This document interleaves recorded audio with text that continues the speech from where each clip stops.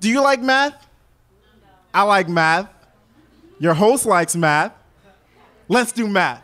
Take um continent divided by country. How many times can America go into Africa, break apart families like fractions, simplify slave ships into trade routes? How many times can numerator fit into denominator, claiming it stands for equality? Remember, all remainders matter unless remainder is divisible by shithole country or kids in cages or a divisive president that must have forgotten who built America, a country carrying over people from a place that was never supposed to be a part of this equation in the first place. They tell me long division is outdated.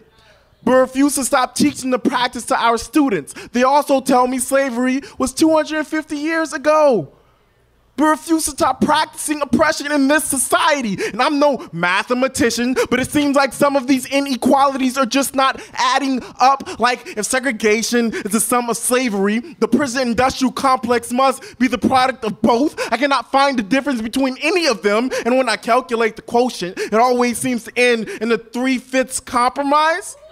Like, like I am tired of compromising who I am to have a chance at ending up on top of this fractured society. Do you know how hard it is to find peace in a country that keeps itself in pieces?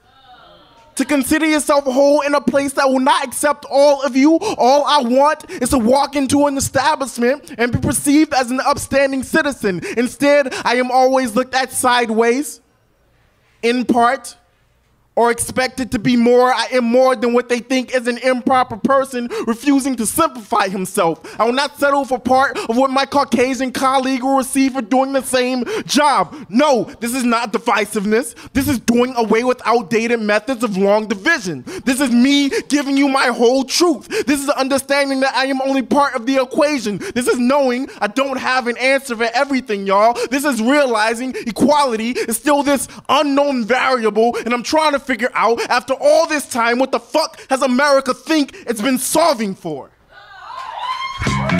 Beast by Supremo oh, for all of my That's Xach Blunt. Judges.